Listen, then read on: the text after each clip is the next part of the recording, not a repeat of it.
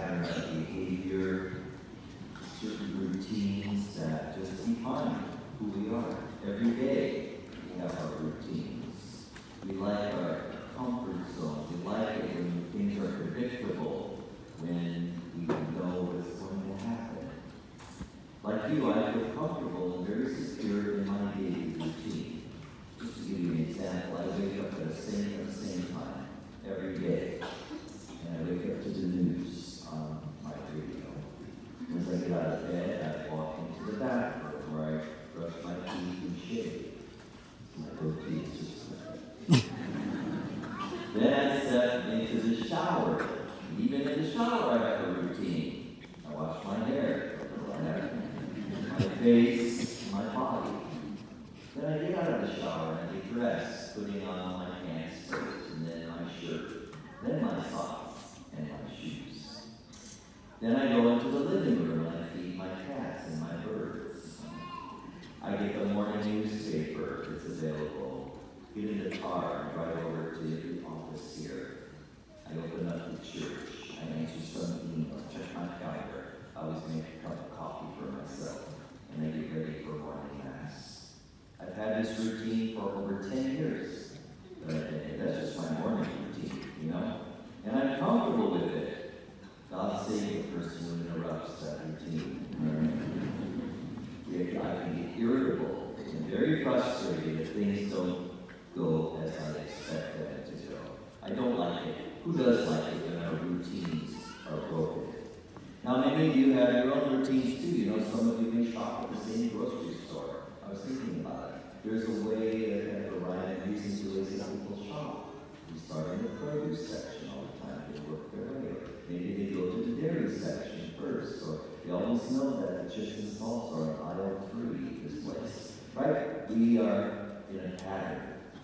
We have our routine, which is comfortable.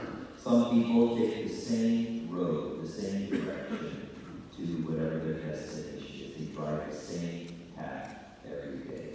So in so many ways, we are creatures of habit, because our habits and our patterns of life are as predictable as the weather forecast is today.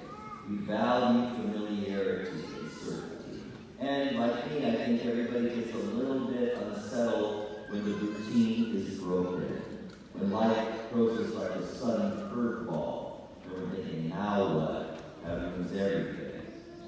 Now in the gospel for this second Sunday at Advent, we hear how the routine of faith, the way Jewish people practiced their faith, their routine, was going to be interrupted. A man named John appeared near the Jordan River in the desert regions there, and he was anything but familiar. He was not ordinary. He was dressed in a completely different way camel hair and a belt around his waist. He ate locusts and grasshoppers and honey. This description of John, I think, is meant to tell us that something new is happening here. This is not the same old thing. And his message was also unique. He was proclaiming a baptism of repentance for people's sins, so they could be prepared to receive the Messiah. And as a result, John became the talk of the town. Everybody was going out to see this unique person at the Jordan River. And many of them responded to his message to be baptized and to seek forgiveness of their sins. But know, there were those people who did not appreciate what John was doing, because this was out of the ordinary. They, many religious folks in those days, they had their routine worship. They knew what it meant to be religious Jew. They had their rituals already. So some of the religious leaders are concerned about what this guy might be doing at the Jordan River. They go out to see him. They're curious about who this problematic troublemaker might be. Well, what they didn't realize is that John was dead serious in proclaiming that his Jewish brothers and sisters embrace something new he called out for them to interrupt the normal routine of their faith lives, to accept the new Messiah. They were to embrace a new way of living, a new moral code and when he saw that some of the religious leaders were coming out to see him, he knew they were just out there, not because they were going to change, but they were looking at him. He knew that these would be the people to resist change. So he condemns them, he lashes out at them, he says, You brood of vipers. He says, You know, I won't baptize you unless you demonstrate by your good works that you have changed your heart. The future was the kingdom envisioned by this Jesus of Nazareth. But you know what happens when people try to change things? They get a lot of pushback. And John received a lot of resistance. And that resistance ultimately led to his death. And then when Jesus begins his public ministry, he takes up John's message calling for a new way of life. Jesus called for people to change. Called conversion. To change their hearts, change their minds, change their souls. His teaching demanded new things. His miracles demonstrated that something new was on the horizon. Yet again, people who don't want to let go of their old way of doing things would resist Jesus, as we know, and they eventually took his life. You know, think about it. We have a lot in common with those religious leaders of today because we have the tendency to practice our faith as we have grown accustomed to practicing it. You know, when we come to church and you walk through these doors, you know what to expect. We have our routine. Now, that routine can be a helpful thing, of course, but it, also, it can also be something we become complacent about. How many times have we sat here in church, go through the motions, but haven't even heard the readings? How many of us recite all the prayers of the Mass, and we don't even think about what we're saying? How many of us leave church here not even remembering what was spoken or proclaimed? That's because we've grown too accustomed to the routine of our worship. Is it more required of us? Do we just go through the motions, or are we supposed to change every time we listen to these words and pray these prayers?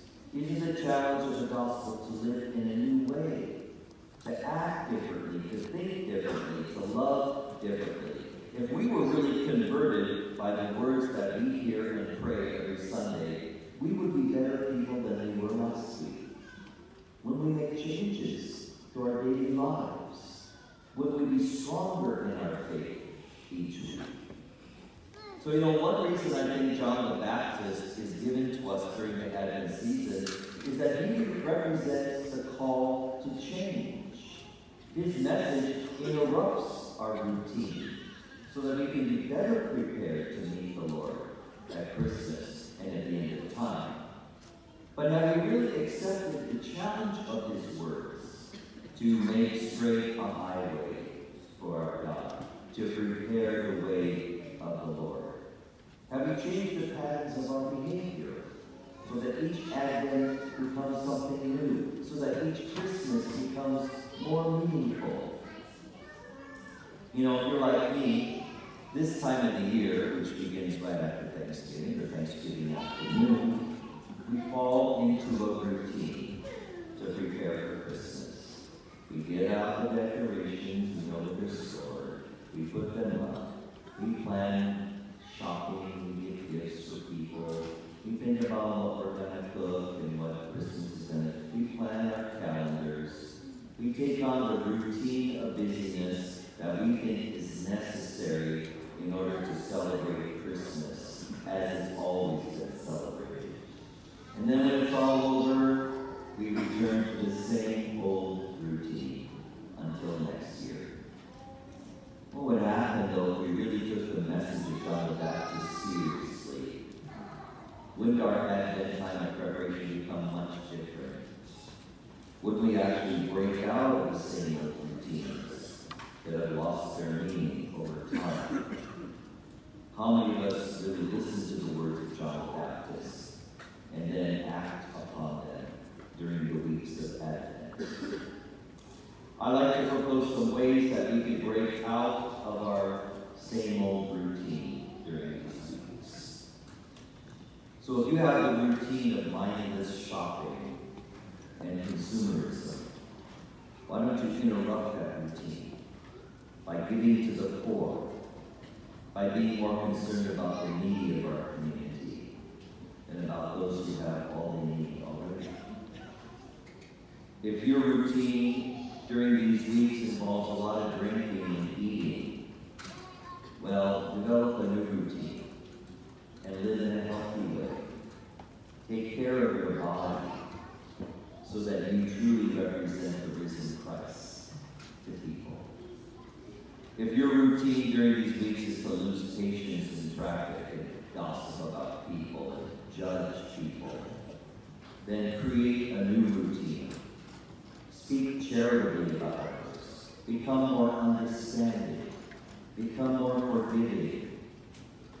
If your typical routine is to be envious and negative and jealous about all the things that people have during these, this season, why not create a new routine of being thankful and positive and grateful and content with what you have? If you have a routine of sinful behavior that just keeps going and going, why not take this time to start a new routine, being holy in mind and body? Routine is just to waste a lot of time doing unproductive things, why not create a new routine and use your time for prayer, some reflection, spiritual reading? You know, Advent is perfectly suited as a time to make changes. It comes at the end of the civil year, but it's the beginning of a new church. So Advent invites us to allow our routine, our routine ways of living, to be interrupted with the good news of Christ's coming. If we can open our arms and our minds and our hearts to the new things that God is offering us, then these weeks of Advent and our celebration of Christmas will be anything but routine.